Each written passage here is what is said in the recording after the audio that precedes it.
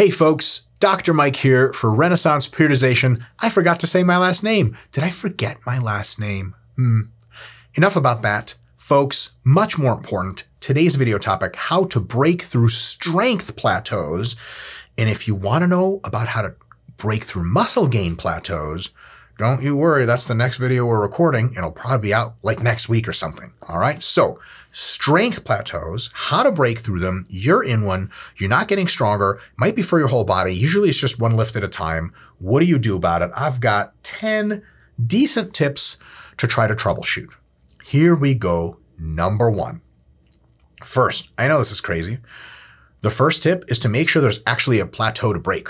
Some people, many people have told me over the years, hey man, I'm like, my squat's really struggling. I'm like, oh no, like, hasn't improved for a while? Like, no, it goes up, but just slower than my deadlift. Like, okay.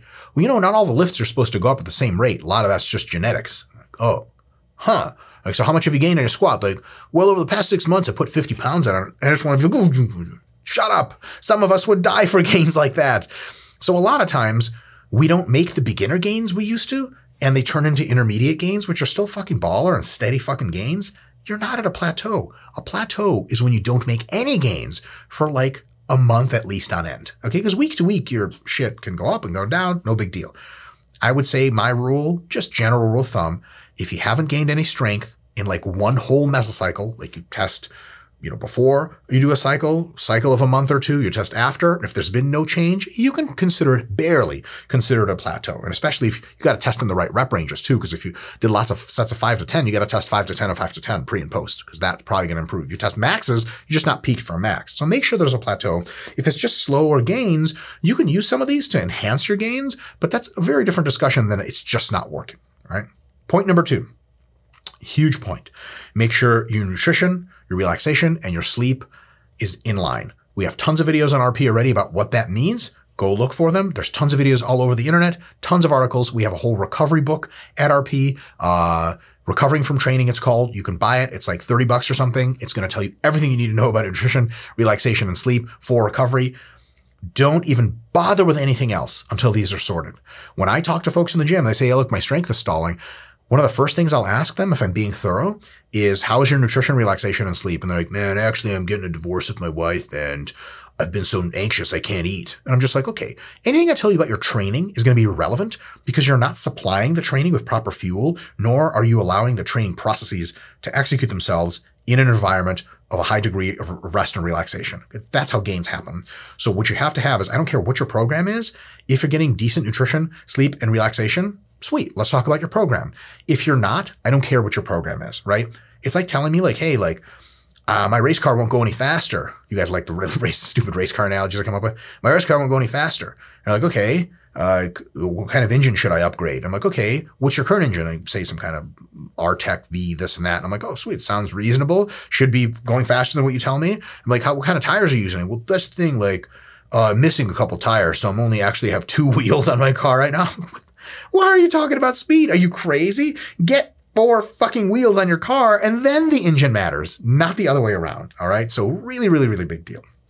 Point number three is not this magic thing that'll solve all the problems. It just has to be, it's, it just happens to be a huge commonality. So you watching this video right now, there's a decent chance you have this problem because a lot of people don't know what deloading is. They just don't know that fatigue accumulates over time and they reach a situation where they're under the hood, their gains are actually great, but the fitness gains go like this and the fatigue gains go like that. And all of a sudden they're either plateaued or getting weaker and they don't know why. The quality of the training is actually really good. They're training fucking hard. They're training right, but the fatigue has just gotten out of hand. Look, I went through like maybe five or six years of training before I even heard what a deload was. I just didn't even know what it was.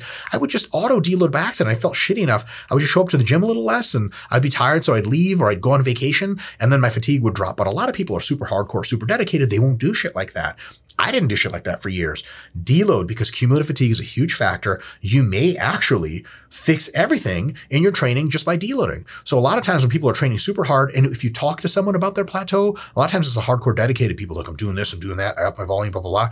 Go say, take a really easy week. Here's how to do it. And we have tons of videos about how to deload on RP already. Check those out they do it and they're like, come back and they just fucking hit PR after PR after PR. They just have too much cumulative fatigue.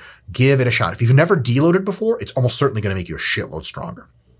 Point number four, you want to make sure that the amount of training volume you're doing is your adaptive window between your minimum effective volume and your maximum recoverable, between the minimum you need to do to actually cause robust adaptations and get better, and is not so high that it is exceeding what your body can regularly recover from, and thus is totally pointless for you to do and probably a real bad idea.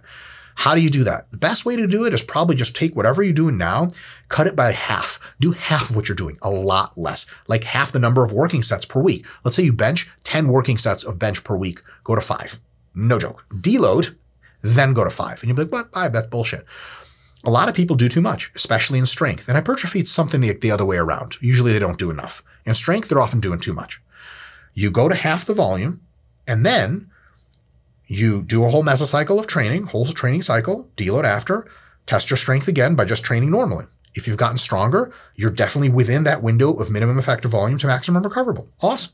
And then you can try to play around with that window, but fundamentally, the volume's probably not the problem, right?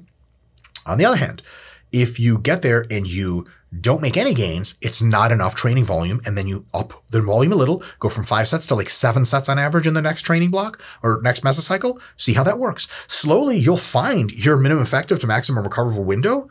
You just have to because it exists and it is somewhere. But what a lot of people find is they'll go from like 15 all the way to like seven and they get the best gains of their lives because they've just been overdoing it some people they'll go from you know they were doing 10 and they were getting okay gains or maybe no gains at all. They go to 5 and those gains disappear altogether and then they slowly add more volume and they notice between 12 and 22 sets per week they get their best gains. Either way once you know that this is a value that stays roughly pretty stable through years and years of your career. So once you find your volume landmarks then you know them and you don't ever have to make that mistake again at least in grand style the reason this is important is a lot of people just don't know how much volume they need, and it's a big difference value between tons of people. You could be deadlifting too much, squatting too much, benching not enough, and you have no idea because you copied your program from the internet. Nothing wrong with that, but it's time to tailor it to yourself by exploring different levels of volume and seeing which one is the right fit for you that gives you the best results. Point number five are you building strength or are you just testing it? Okay. A lot of people, the big mistake they make is they just do one RM tests all the time. They go work up to a single and sometimes they don't do much else. They do a single and a triple and they go home. Strength is built best with multiple sets of three to six reps. That's what builds strength. So a lot of times the way to break through a plateau, and this is how people get themselves into plateaus, is they'll test their max all the time and it goes up just because that testing is sufficiently voluminous and, and intense for them to make gains. Then they get past their beginner period and it turns out you just need more work, sub-maximal hardcore grinder reps rather than just showing off. Showing off's just not making you good anymore. And they think, damn it, I've hit a plateau. Like I used to, my max used to go up every week. And a lot of times when they say shit like my max used to go up every week, it's like, motherfucker, how do you know that? Yo, you testing your max every week? And they're like, yeah, we're not supposed to be doing that anyway. Get away from the testing and get into the training. Lots of sets of three to six reps. And then afterwards, a couple months later, you test your max and holy shit, it went up by a ton because you're no longer just trying shit out. You're actually doing it. The bodybuilding analogy would be like instead of flexing in the mirror, which if you flex hard enough and you're a beginner will actually make you more jacked and checks your muscles, why don't you actually train, train for a while, then the next time you flex in the mirror, you'll be much more impressive, right? Point number six, recalibrate your relative effort. Maybe you're training not hard enough, right? So your mesocycle should start at an RP 7 or so, not an RP 5 or 6. If I look at your reps and I don't know if it's a technique only session or a recovery session or if it's actually a hard session, you have a problem. On the other hand, if you're doing RP 10 all the time and grinding everything to failure, then you're probably generating a huge amount of fatigue with a decent amount of stimulus, but the fatigue after multiple weeks overwhelms it and you get into a situation where you either have to deal it all the time or you are in a plateau. Most of your good training is going to be uh, uh, between RP 7 and 10 with an average of like 8 or 9 RP. So most of your sets should be hard, challenging, but doable and recoverable so you can come again and again and again. That takes some wiggle room and takes some work to figure out, but it's worth figuring out because you may be training too hard per set or you may be training too easy. Number seven, technique. A lot of times the reason your bench isn't going up is because you're benching all wrong. You're squatting all wrong, you're deadlifting all wrong, or maybe not all wrong, but you could be doing it a whole lot better.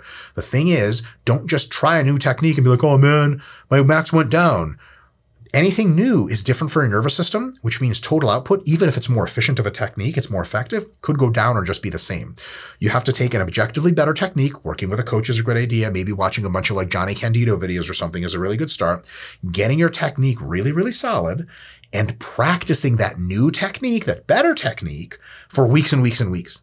And in the first few weeks, you may get nothing out of it.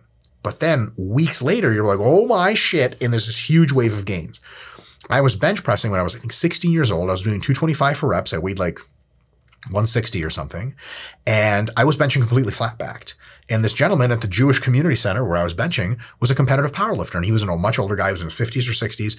Uh, his name is Bill. And he, he was like, Hey, like, you, are pretty talented in the bench press. Did you know that? And I was like, Oh, I don't, I don't know. I, I'm trying my best.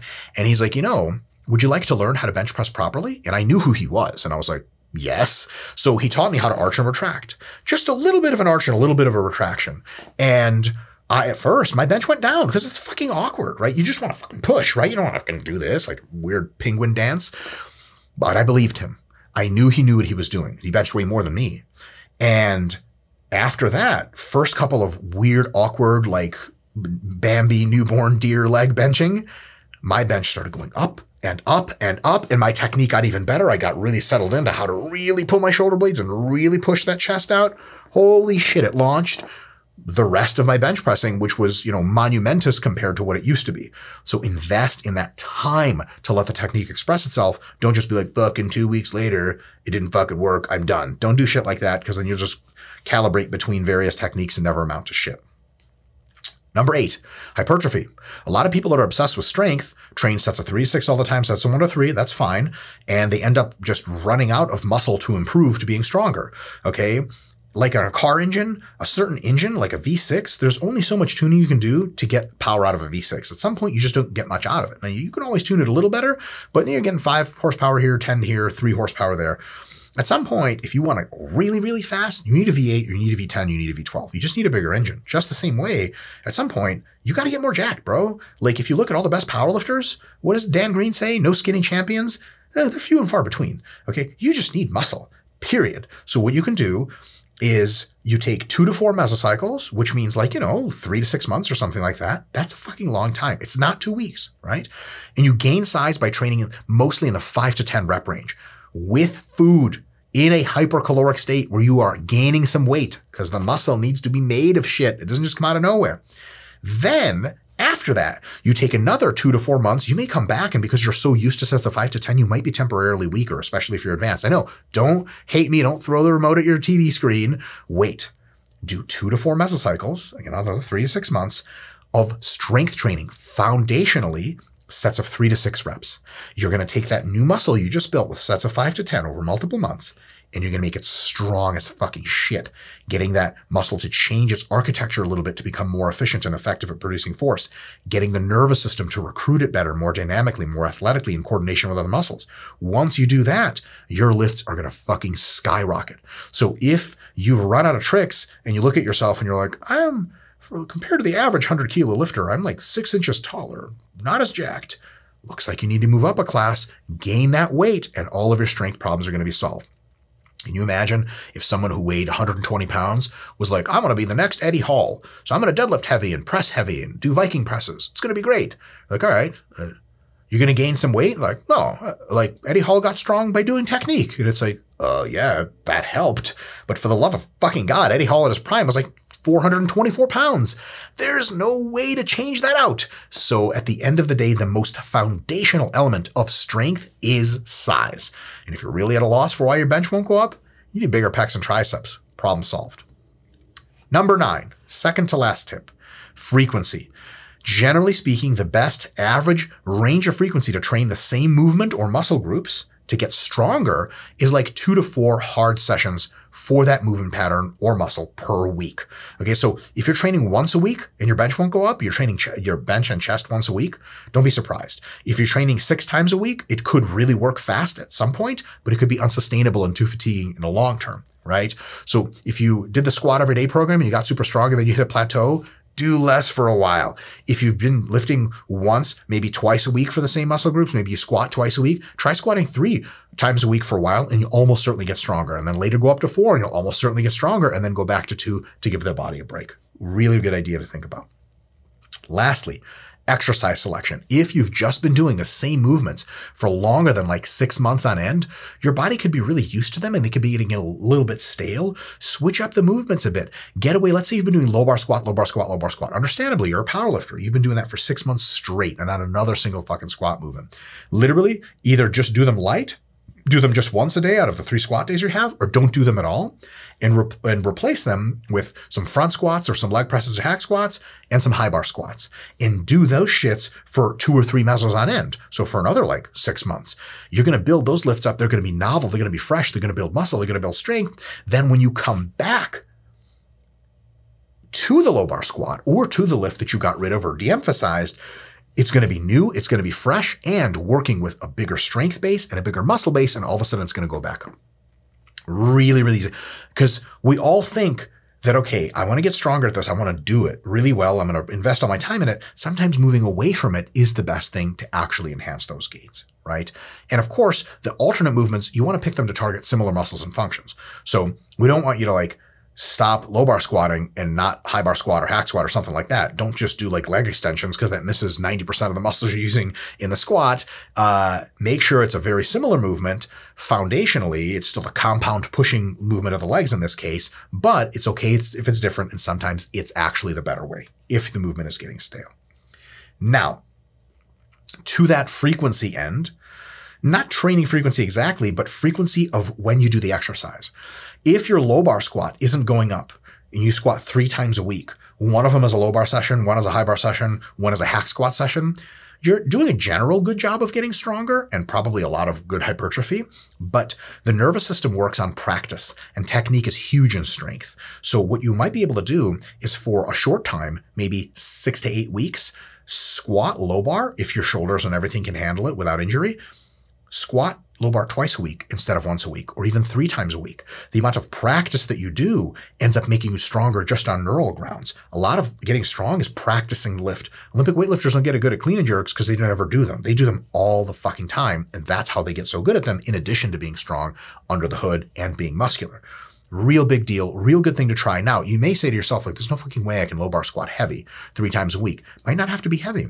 What you might do is low bar squat heavy one day, moderate another day, and the last squatting day, you can do heavy high bar squats or hack squats to get some good heavy stimulus, but still low bar squat. Later in the workout, at the end, super light just for techniques. That's a three to six at like 50% of your one rep max. Not challenging, but it lets you get into the groove and practice the movement so that next Monday when you come back, uh, back in and you low bar squat heavy, you're super fucking grooved into low bar squatting because you've been practicing with light weights, which absolutely works. That way you can get really strong really fast. You can forget about your plateaus. And eventually, when you're not plateauing anymore and you're getting really good gains and you're at that cocktail party and no one's talking to you, someone comes up to you and you're like, oh, hello. And they're like, have you been making gains in your squat lately? Because I follow you on Instagram. You're like, um, yeah, I guess I have. And all of a sudden, you're married with children. Your life is amazing. That's how to find happiness, folks. Break those plateaus. Tell me how it goes. Comment in the comments below. And if you want hypertrophy, plateau breaking tips, see you next week.